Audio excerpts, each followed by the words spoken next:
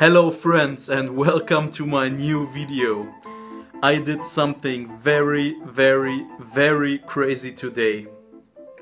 Long story short, I went I'm still not home at the moment and I went to my record store in my hometown here uh, on Monday a few days ago and I bought some stuff and while I was digging I saw this classical box set and long story short I bought it today.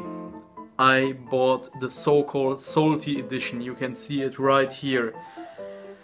Insane, I can tell you. It's a Decca box set, 220 LPs, 440 sides of classical music and opera. That's 11,880 minutes of music. That's almost 200 hours of classical music. I'm crazy. I am very crazy.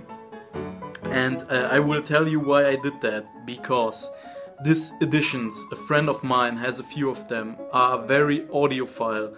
Those are so high quality and uh, to be honest, I'm a total newbie for, cla uh, for classical music. I'm a beginner. Of course I have a whole bunch of Deutsche Grammophon and some other stuff that I know, but I wouldn't consider myself as an expert or as an uh, as somebody who knows uh, anything about classical music.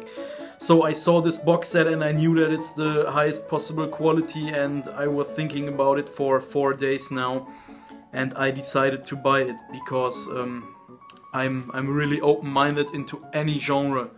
And um, I collect every music that I that I can get. And I'm really getting deeper into classical music because it's just it's it's the same with jazz a few years ago. I, I just want to discover something new and want to go into it.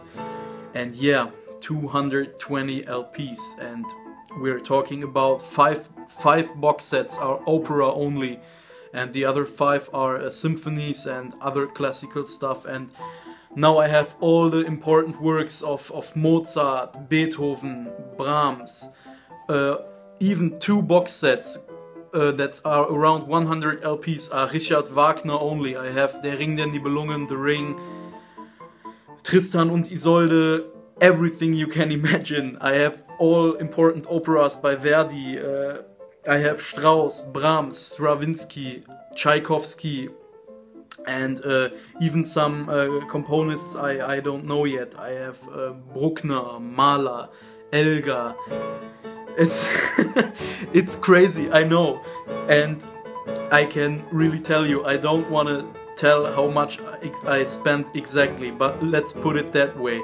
I could have almost bought a new Beatles box set for it and I just want to hear your thoughts. Please put it in the comments if I'm totally crazy because I spent so much on classical music. This is my own Christmas present for me or not, but I still can't believe that I did it. And I, I, of course, I checked eBay before and I can really tell you those box sets, they sell incredible expensive because there are on Decca and there are audiophile, there are great pressings, great sound, there are all by the uh, Chicago Symphony Orchestra.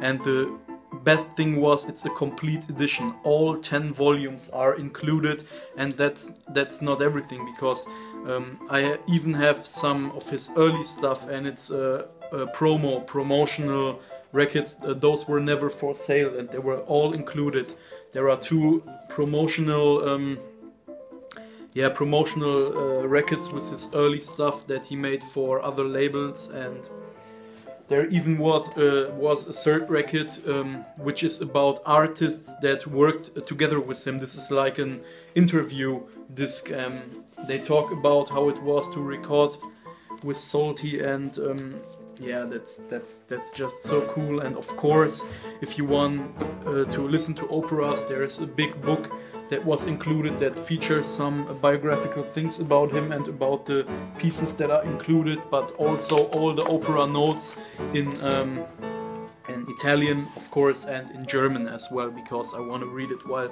I'm listening. Yeah, that's one of the most craziest things I ever did, and I can tell you I had to I had to bring them to my car and those 220 LPs in this box set there are I don't know, heavy as hell, maybe 50 kilos, 50 kilogram, but I am so crazy. What do you think about it? Please tell me. Bye bye.